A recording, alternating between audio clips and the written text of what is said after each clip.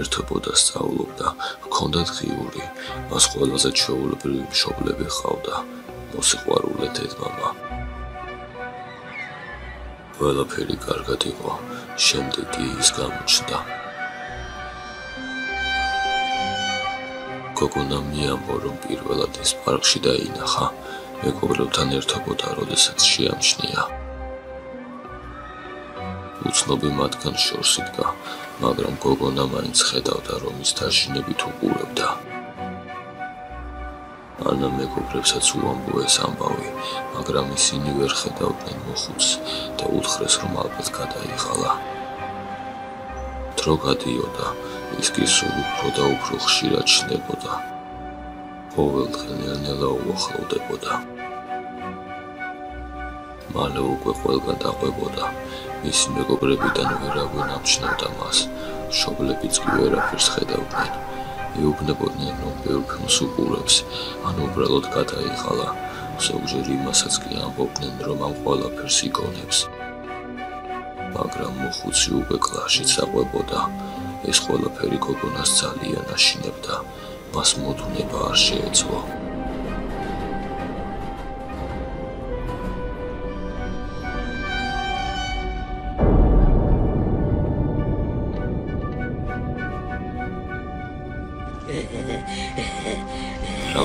დღეში სახლში დაინახა ჭერზე იჯდა და მისი საზარელი სახით პირდაპირ გოგონას უყურებდა.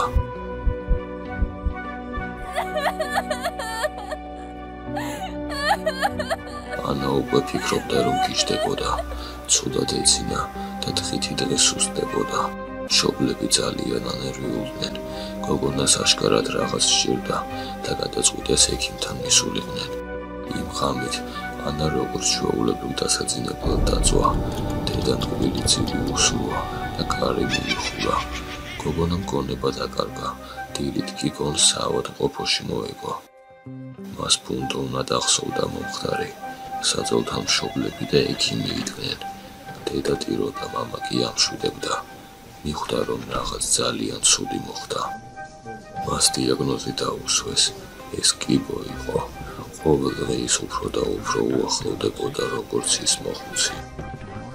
სასწრაფოდ დაიწყეს მკურნალობა. ერთი თვის თავზე კი ექიმმა სასიხარულო ამბავი ამცნობა. ანალიზები ნორმას უბრუნდებოდა. მკურნალობის შემდეგ რემისია დაიწყო და კიბო დამარცხდა. გოგონას ძალიან გაუმართლა რომ კიბოს აღმოჩენა შეძლეს მაშინ, როდესაც ჯერ კიდევ შეიძლებოდა რაიმეს გაკეთება. მოხუცი კი სულ უფრო და უფრო იშვიათად ჩნდებოდა. ნახევარ წელში კი სულ გაქრა.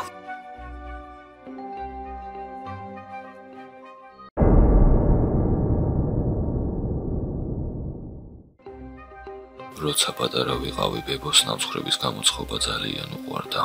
მახსოვს როგორ მანებიურებდა. ძალიან მიყვარდა მისი ტკბილეული, შემეძლო ძალიან ბევრი მეჭამა. ჩვენ ყველანი ერთად ცხოვრობდით, დედა, მამა, მე და ბებო. საბავშვო ბაღიდან როცა უბრუნდებოდი დედასთან ერთად, თითქმის ყოველდღე სახლში ტკბილეული მხვდებოდა.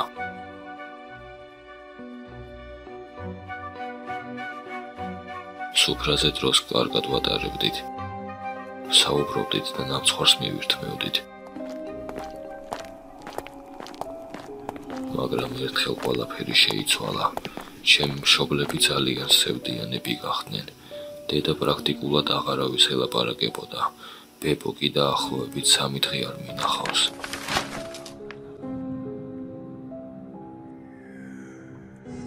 ერთ-ერთ დილას სამზარეულოში ნაცნობი ხმა გავიგონე. ეს ბებო იყო. სამზარეულოში შევარდი და მაგიდას მივუჩექი. ის უკვე იღებდა ნამცხვარს ხუმელიდან. დახურული ნამცხვარი ის არასდროს აცხობს ესეთებს, მაგრამ რა აზრი ჰქონდა? დარწმუნებული ვიყავი, რომ ძალიან გემრიელი იქნებოდა. მან ფრთხილად დაიწყო დაჯრა. უეცრად შევამჩნიე, რომ ერთ-ერთი ნაჭრიდან რაღაც შავი გადმოვარდა. რა ეს ეს რა არის? ბებო მთებში მომწოდა ნამსხრის ნაჭერში კი ფრინველის ფეხი ჩანდა. სამზარეულოში შეშინებული დედა შემოარდა ბებო ბებო ბებო რაღაც საზღრობა ჩამიგდო ნამსხარში დედა მოვიდა და ამიხსნა რომ ბებო ჩვენთან ერთად აღარ არის. ამ დღეების განმავლობაში მან უბრალოდ არ იცოდა ჩემთვის ეს როგორ ეთქვა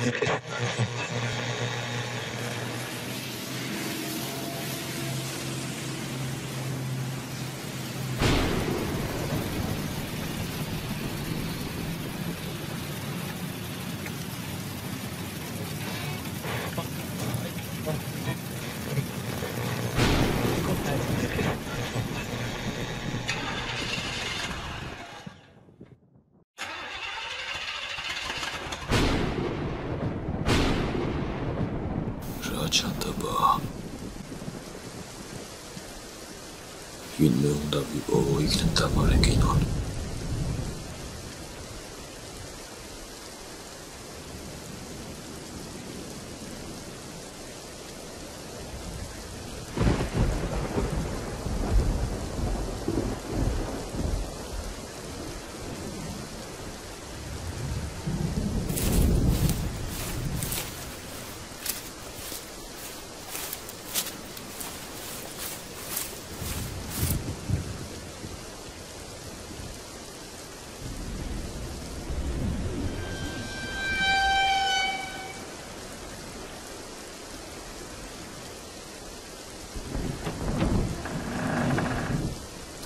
გამარჯობა.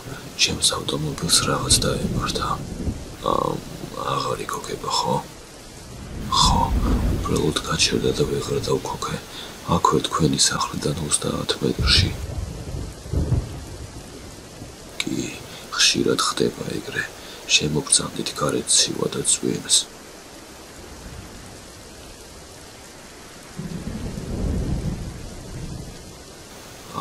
არა უბრალოდ დარეკვა მინდა და ავტომობილში დაველოდებოდი ევაკუატორს. ტელეფონი მაქვს, მაგრამ ასეთ ამინჩი გარეთ ვერ დაგტოვებთ.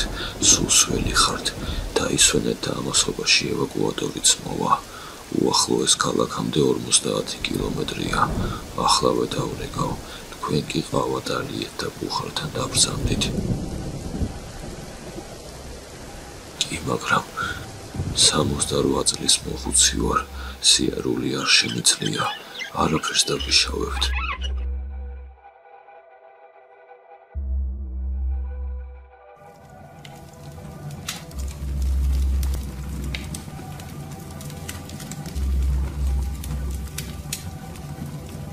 აქ როგორ მოხდით?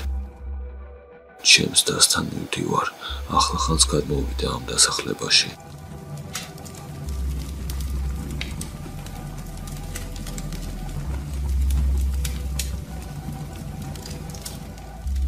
ძალიან გემრიელია და თქვენ რატომ არ სვამთ? როგორ როგორ თბილა?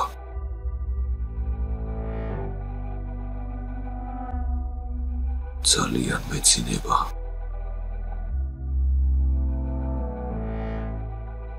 მეც დავლევ, ოღონდ მოგვიანებით.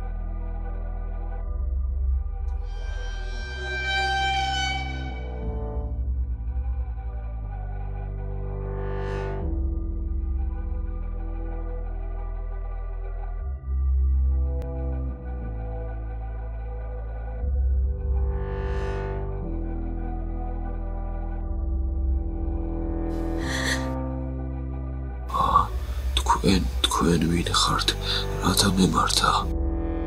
სახლში შემოგიშვით და გავიწყდათ. სამართლიანი გაცვლა. მე თქვენ გადაგარჩინეთ სივილს თქვენ კი მე.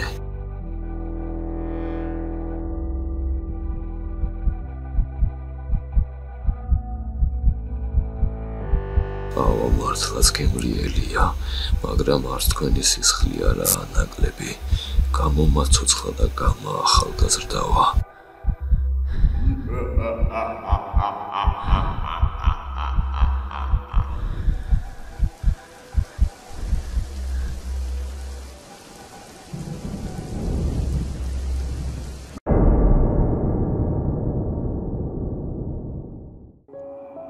ერთ ჩვეულებრივ ქალაქში მოხუცებული წყვილი ცხოვრობდა.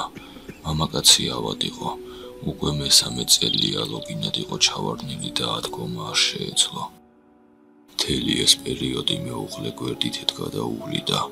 ამ ზაფხულს კი საკუთარი და უნდა ენახა და ქმრის სახლში დატოვება უწევდა. ამისთვის კი ძიძა ყავდა საპოვნელი. განცხადებას მალევე გამოახმაურა 20 წლამდე გოგონა, სახელად ლიზა. ქალბატონმა მომრეს ყველაფერი აუხსნა. მამაკაც საკოცა და სახლიდან გავიდა.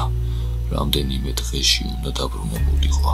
ხოლოდ ერთი უცნაური პირობა იყო, რაც არ უნდა მომხდარიყო მომრელს მარცხენა ხელზე საფენი არ უნდა შეეცვალა. პირველი რამდენიმე დღე ყველაფერი კარგად იყო. მამაკაცი საკმაოდ კარგად გამოიყურებოდა, ხმას ზედმეტად არიღებდა და თითქმის სულ ჭერში იყურებოდა. თუმცა შეიძლება ითქვას, რომ მისი მარცხენა ხელი უცნაურად იქცეოდა. დრო და დრო ისე მოძრაობდა, თითქოს საკუთარი ცხოვრებით ცხოვრობდა. ამასთანავე გოგონა უცნაური რამე პოვა. როცა საძოლის ქვეშ შეიხედა, მან დიდი ჯაჭვი დაინახა, რომელიც საძოლზე იყო მიმაგრებული.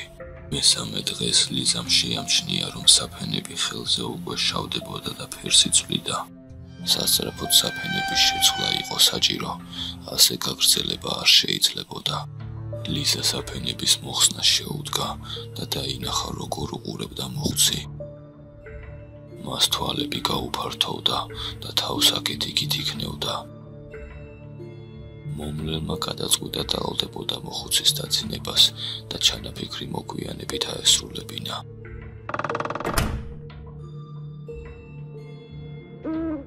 შუაღამის ლიზა მამაკაცთან ოთახში შევიდა. მიუახლოვდა და ფრთხილად დაიწყო საფენების მოხსნა. დაინახა, რომ ხელი საშინელ მდგომარეობაში იყო და ამას რძენის სუნი ასდიოდა. უეცრად მამაკაცმა გაიღვიძა და გოგონა მის თვალებში შიში დაინახა.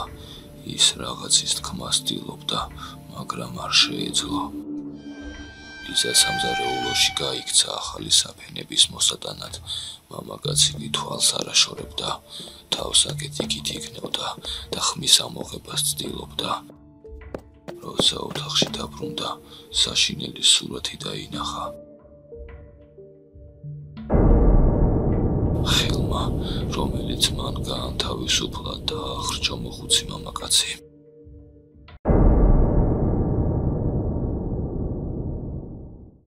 როცა პატარა ვიყავი, სოფელში ხშირად დავდიოდი. სოფლის ბოლოს ნახევრად დანგრეული ქოხი იდგა, რომელშიც დაახლოებით 50 წელი არავის უცხოვრია. ბებოს კითხე თუ რა სახლი იყო, რატომ არ ანგრევდნენ და არაფერს ახალს არ აშენებდნენ. მაშინ მოვისმინე ყველაზე საშიში ისტორია ჩემს ცხოვრებაში. ამ სახლში ცხოვრობდნენ, როდესაც ბებო პატარა იყო, დაახლოებით 40-იანების დასაწყისში. მაგრამ ჩვეულებრივი ოჯახი კი არ ცხოვრობდა, არამედ მოხუცი ქვრივი და ახლობთ 70 წლის ქმარი პირველ სოფლიო ომში დაკარგა და მას შემდეგ მარტო ცხოვრობდა. სოფელში ჯადოქრის სახელი ჰქონდა, ბებოს ამის პატარაობიდან მკიცეთ შეეროდა. იშვიათად თუ დაინახავდნენ ამ ქალბატონს ეზოში დღისით და დიოდა და უვლიდა საკუთრებას, ღამით კი ეზოში უსარმასარ ხორს უშვებდა. ცხოველი ეზოში დადიოდა და თითქმის მთელ სოფელს მისი ხრუტუნი ესმოდა.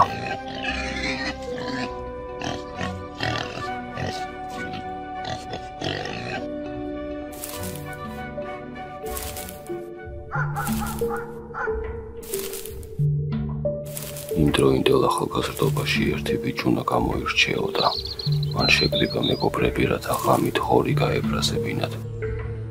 ბუნებრივია არავინ გაყვა და როგორც ჩანს მარტო წავიდა.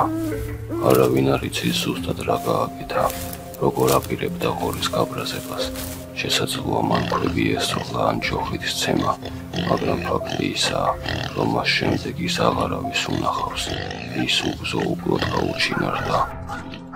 რას არ ამბობენ სოფელში, რომ მოხუცმა გაგუდა, საკუთარ ხორს აჭამა ან უბრალოდ უკანა ეზოში დამარხა, მაგრამ ყველაზე საშინელება ის იყო, რომ უმეტესობა სოფელში შეეროდათ, რომ ხორი თვითონ ეს კალბატონი იყო. ხამით ის ხოველის ფორმას იღებდა და ეზოში დაბოდიალობდა. დღისით კი ისევ ადამიანის სახით ხვდებოდა თანასოფლელებს.